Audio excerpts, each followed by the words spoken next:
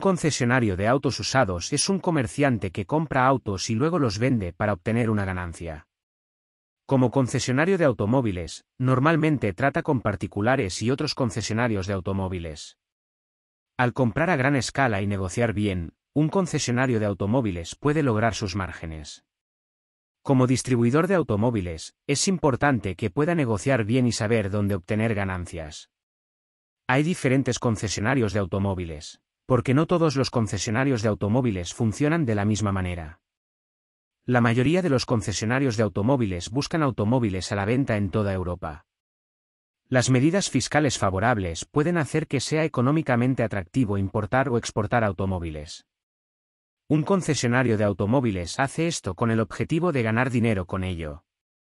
Como distribuidor de automóviles, es importante que tenga suficiente conocimiento sobre los precios de los automóviles y las leyes y reglamentos. Las leyes y reglamentos se refieren principalmente a las normas fiscales con las que debe lidiar un concesionario de automóviles al importar o exportar automóviles. Este impuesto encarece los automóviles, lo que afecta directamente el precio de venta.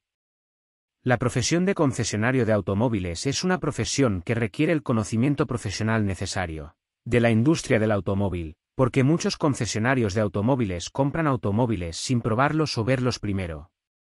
Como concesionario de automóviles, tarde o temprano sucede que realiza una compra incorrecta, porque los concesionarios de automóviles compran muchos automóviles.